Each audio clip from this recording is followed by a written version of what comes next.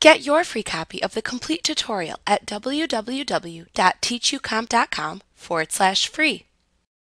The set bookmark mail merge rule in Word lets you insert a set field into the mail merge document that sets the value of a repeating placeholder bookmark field, also called a ref field, in the document.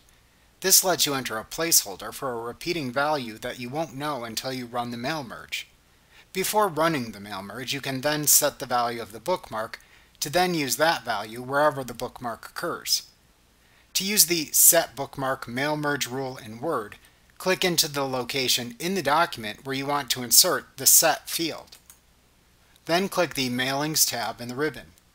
Then click the Rules drop-down in the Write and Insert Fields button group and select the Set Bookmark command from the Buttons drop-down menu to open the Insert Word Field Set dialog box. In this dialog box, type a bookmark name into the Bookmark field. To set a default value for the bookmark field, type the value into the value field. Then click the OK button to create the bookmark. To then insert the bookmark field to show its value, click into the desired document location. Then click the Insert tab in the ribbon. Then click the Quick Parts drop-down button and select the Field command to open the Field dialog box. Ensure that the All choice is selected from the category drop-down, and then click to select the Ref field choice below that. Then select the name of the bookmark you created from the bookmark name list to the right. Then click the OK button to paste the field with the bookmark's name into the document.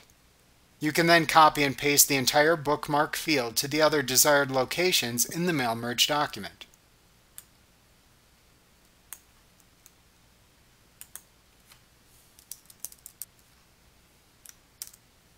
to set or change the value of the bookmark field, first make sure you can see the normally invisible set field in the document. One way to do this is to press the Alt plus F9 keys on your keyboard to toggle field code display in the mail merge document on or off. Alternatively, you can click the File tab in the ribbon. Then click the Options command at the left side of the Backstage view. Then click the Advanced category at the left side of the Word Options dialog box that then opens. Then check the Show Field Codes instead of their Values checkbox under the Show Document Content section to the right. Then click the OK button in the Word Options dialog box to apply the change. After you can see the set field in your document, then right-click the set field within the document. Then select the Edit Field command from the pop-up menu to open the Field dialog box. At the left side of the dialog box, make sure the Set command is selected in the list below the Categories dropdown. To the right, make sure the name of the bookmark whose value you want to set or change is selected in the Bookmark Name list. Then enter the text value to apply to the selected bookmark into the text field above that. Then click the OK button. You can then toggle the display of the mail merge field codes back off if desired. You must toggle the field codes off to preview the mail merge results in Word.